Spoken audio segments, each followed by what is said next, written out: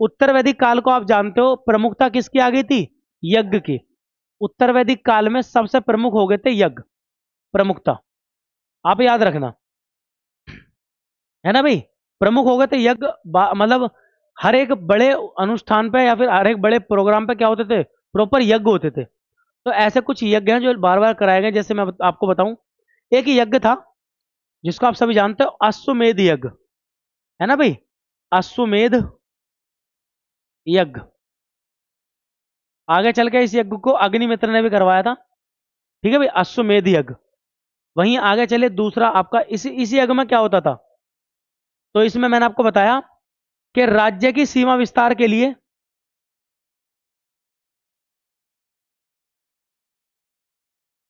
राज्य की सीमा विस्तार के लिए क्या करते थे भाई? एक अश्व को छोड़ दिया और जितने एरिया को कवर करेगा वो एरिया या तो डायरेक्ट हमारा या फिर लड़ो, लड़ाई करो। और घोड़े को ही क्यों रखते थे इसमें? अश्व, अश्वमेध यज्ञ क्यों होता था? ये गधा मेद यज्ञ क्यों नहीं है?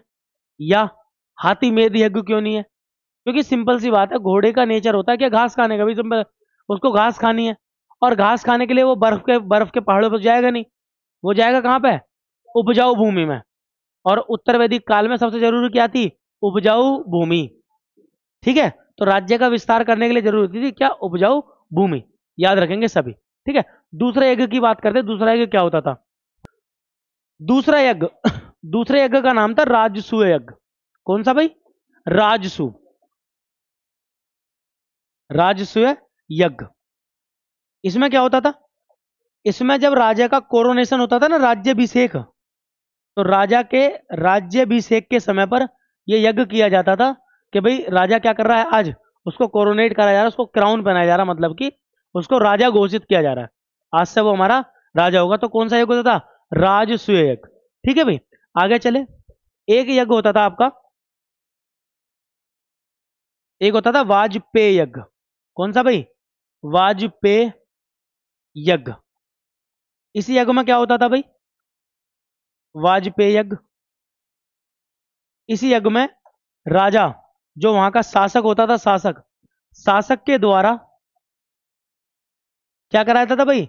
अपना शक्ति प्रदर्शन। जब अपनी पावर दिखानी होती थी ना तो राजा इस यज्ञ को कराता था बहुत बड़े लेवल पे। अपनी सारी सेना को बुलाना, हाथी, घोड़े, जो भी हैं, सबको उस यज्ञ में बुलाना। और पड़ोसी राज्यों को और अपनी खुद की प्रजा को ये दिखाना कि हम कितने पावरफुल हैं। जैसा आजकल होता है, जब कोई बड़ा मंत्री हो या हमारे प्रधानमंत्री हो, कोई भी हो इलेक्शन के टाइम पर जब जाते हैं ना पर्चा भरना, जब वो पर्चा भरने जाते हैं तो अपनी पूरी पावर दिखाते हैं।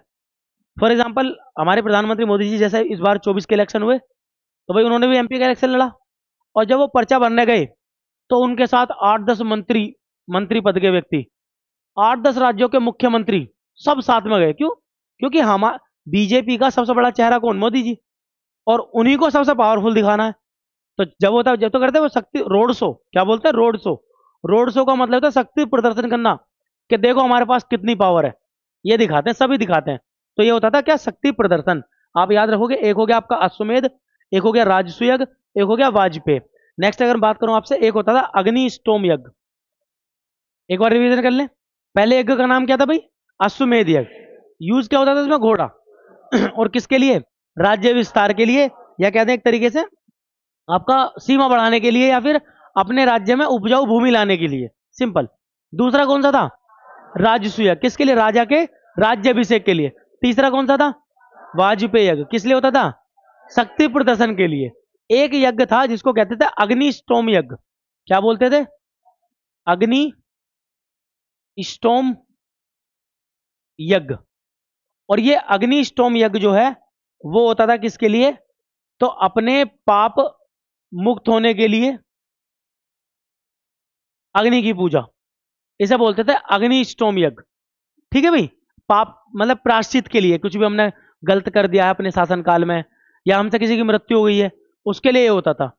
एक होता था सोत्रामणि यज्ञ। कौन सा भाई? सोत्रामणि।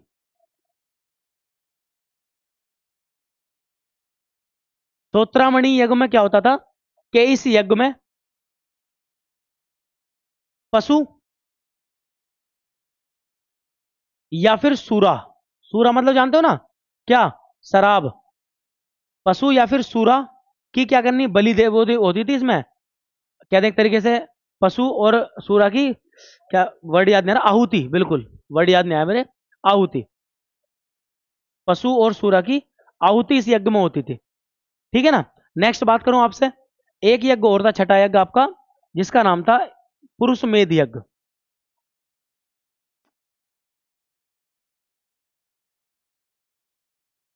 पुरुष मेद यज्ञ है ना? और पुरुष मेद यज्ञ में क्या होता था? किसी भी एक विद्वान जो मतलब एक, एक तरीके से कोई विद्वान व्यक्ति है ना उसकी क्या करना? बलि देना। अब यहाँ किरकिरी हो जाएगी बढ़िया वाली ठीक है? तो क्या? किसी विद्वान की बलि देना। अब वो किस बात का तो विद्वान बनेगा बेचारा। उसे पता ज़्यादा विद्वान हो गया ना तो बकरी मैंने मारी है फिर मैं चढ़ूँगा फांसी। अंधेर नगरी चौपट राजा ठीक है भाई? तो याद रखना ये जो पुरुष में दिया गया किसी होता किसी विद्वान की क्या देना, बलि देना, ठीक है भाई? आगे चलो। अच्छा होता क्यों था ये याद रखना? ये इसलिए करते थे राजनीतिक वर्चस्व बढ़ाने के लिए। राजनीतिक वर्चस्व मतलब कि अपनी पावर को और बढ़ाने के लिए, उनका और बढ़ जाएगी। तो राजनीतिक वर्चस्व को बढ़ाने के लिए होता था कौन सा यज्ञ? आपका पुरुषमेध यज्ञ। एक बार देखें कौन कौन से यज्ञ। आओ जरा ध्यान दो। देखो भाई रिवाइज करो पहले सही से। पहला यज्ञ कौन सा है भाई? अश्वमेध यज्ञ किस लिए हो रहा है राज्य की सीमा विस्तार के लिए। दूसरा राजस्व यज्ञ किस लिए हो रहा है? राज्य अभिषेक के। तीसरा, वाजपेय। यज्ञ किस लिए हो रहा है? शक्ति प्रदर्शन के लिए, है ना? नेक्स्ट कौन सा आपका? अग्निष्टोम यज्ञ किसके लिए? पाप मुक्ति के लिए। सोत्रामणि में क्या होता था? पशु और सुरा की आहुति, है ना? और एक आपका पुरुषमेध यज्ञ क्या होता था इसमें? विद्वान की बलि। और किस लिए?